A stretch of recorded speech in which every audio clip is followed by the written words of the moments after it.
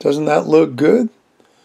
That is cookies and cream cinnamon rolls. Easy to make. They look great. They're great snacks for a quick dessert. Let's make them right now. So first thing we need is a food processor. Put it aside because our main ingredient is pizza dough. Out of a tube, look what happened. The lid blew up. I've never had that happen before, so we got it out of the container, put it on a baking sheet, and I wasn't quite ready to make it, so it's been sitting there for about 15 minutes till I could get everything together. Because the recipe said it needed to be at room temperature, which I normally don't do. And when I left it at room temperature, once it got nice and warm, it blew up. So I unrolled the pizza dough, which looks surprisingly like crescent roll, except it doesn't have the perforations on it. Yeah, I would rather make my own. This is what we got to give it a try. This is what we're going to use. We'll put that aside. Now our next main ingredient is cookies. That's where the cookies and cream come from. And we're using Oreos. Just like that. Now I need a half a cup altogether. So I've got one cup of unbroken cookies. Well, okay, minus one cookie because I had to try them. We'll get the lid on this processor, get her into place like that, and make us some crushed cookies. That didn't take too long.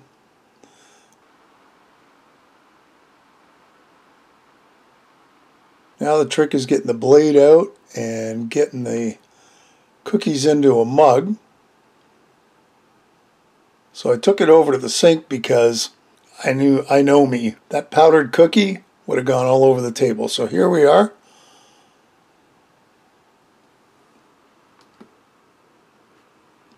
That's a half a cup of crushed cookies.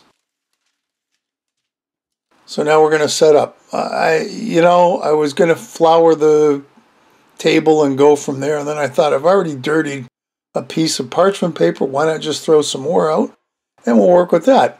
That's a little sticky. I, I guess I could have thrown a little bit of flour down. But you know, this worked out really well. Uh, I didn't have the huge mess of flour that you normally have. Now what I'm doing here is I'm kind of smoothing it out so it's about as close to a rectangle as possible. Got a little thin in the middle, but we'll work with it. Next up is some butter, room temperature. So I grabbed a little bit just to give it a try, and it's still a chunk. So I grabbed a little bowl, poured some in, put it in the microwave for 30 seconds, and it came out, well, like that, really. Now this isn't enough, and I was kind of hoping it would be enough, but I had to put the same amount in again. So you're probably looking at a good two tablespoons, I think, to actually cover all this.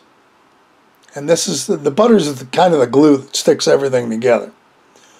You want to make sure you cover everything.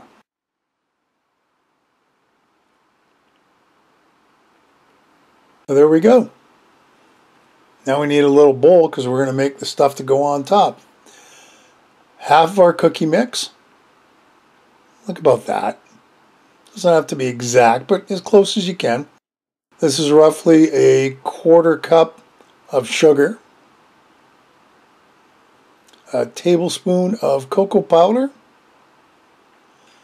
And a teaspoon-ish of cinnamon.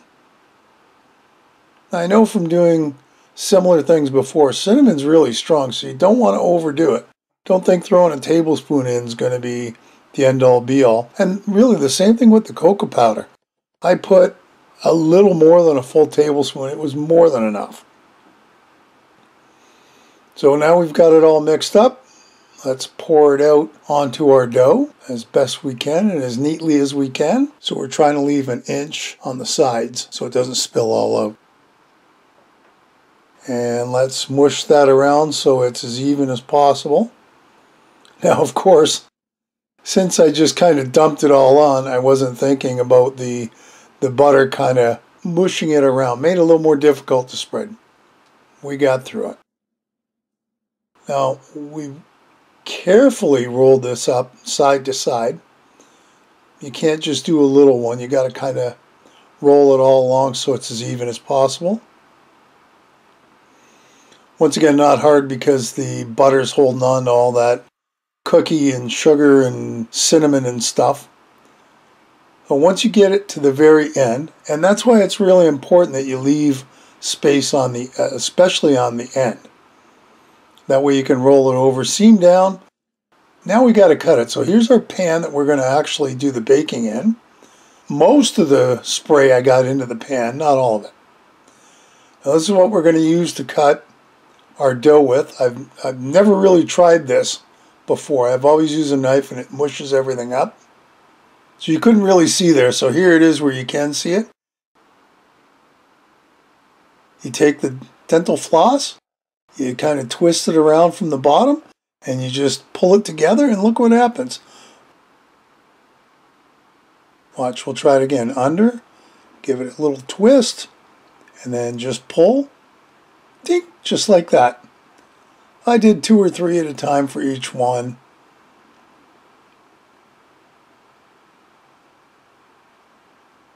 There, and then we put it in the pan.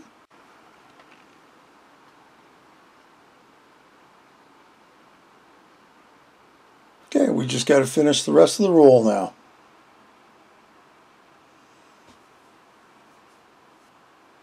Now I was watching how thick I was cutting them, trying for about an inch, and I think because of the way I spread it out originally, well, we got an extra 5 out of the deal, which is okay. Instead of 12, we got 17. And now we've got to cover it up, so I'm going to take this parchment paper, shake the crumbs off it, and we're just going to cover this up and let it sit for half an hour. Hopefully we'll get a little bit of a rise out of it, and we did just a little bit, not a ton. I think at this point I'm thinking I prefer my homemade stuff better, maybe because it's fresher, I'm not sure. So I've rearranged all the rolls so they're more even in the pan. Into the oven it goes, 350, 15 minutes.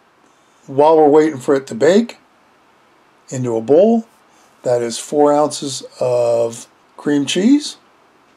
And we're going to do the exact same amount with butter. We want both of these nice and softened so we can mix them together.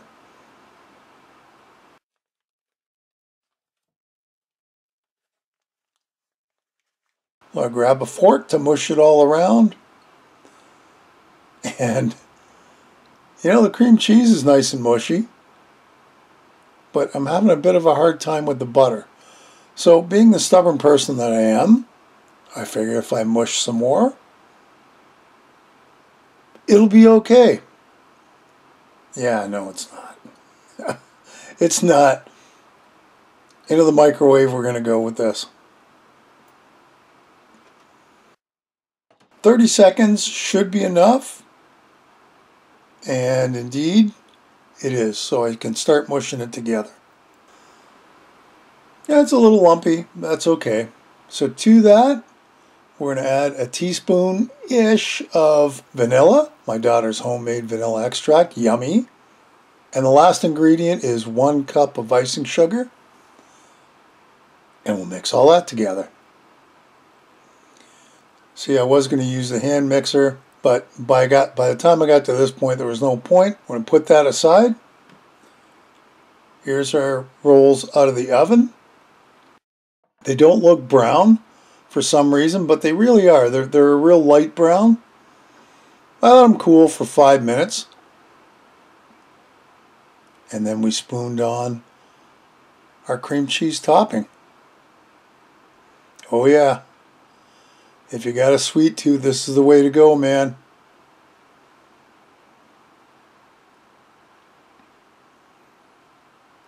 And you're never sure if you've got enough or too much I had just a little bit left over. So now on to our last quarter cup of crushed cookies. They get sprinkled on top. Just like that. They look really good, so let's get them on a plate. And I'll show you these guys. What they look like on the plate. That's one, two, three, four. Just like that. Now it's time to dig in. Mmm, dessert. Hey, another great recipe. I hope you'll give it a try. Leave me a comment below, one way or the other. Listen, if you haven't subscribed, hit the subscribe button and hit the bell because that'll tell you the next time I upload a video. Feel free to share this in any of my other videos. And thanks for stopping by and watching. We'll see you next time. Bye-bye.